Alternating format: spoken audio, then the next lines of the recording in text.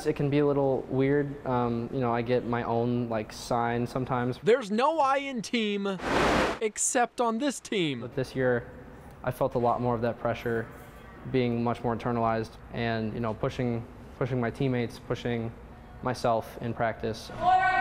Minnehaha Academy's Andrew Karpenko leads the Redhawks all by himself. Who's the captain of Minnehaha swimming? Uh, that, that is me. Yeah, Who's the fastest swimmer on Minnehaha? that's also me.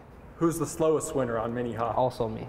I'm like, okay, they're Minnehaha, one kid, um, but he always um, he always does really well at the big invites. Karpenko doesn't practice alone though. He swims with the Breck Blake team.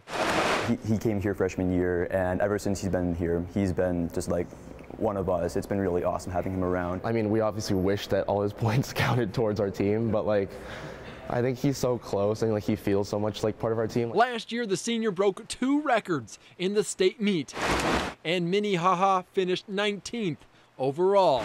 Not bad for a one-man team. It's just how welcoming this team has been for me, and I'm not some, you know, just person training here to be on his own to compete for himself.